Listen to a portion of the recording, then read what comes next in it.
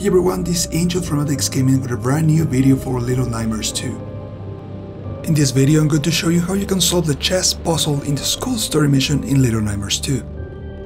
Go to the right side of the room and you will find a big red eye painted on a projection screen. Hang from it and release to fold it and reveal the sketch on the wall that indicates chess pieces and their position on the board. Keep going right and you will find the queen.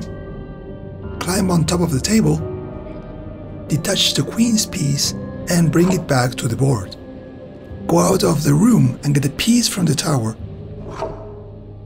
and use it in the piece on the far left of the board so you can climb to the table and get the king piece. Now place the pieces in the correct order.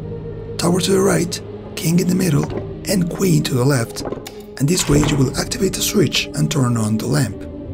Now climb on top of the table using the tower piece and hang on the lamp to reveal the secret room with the key. Hope this was useful. Thank you for watching and keep enjoying the game.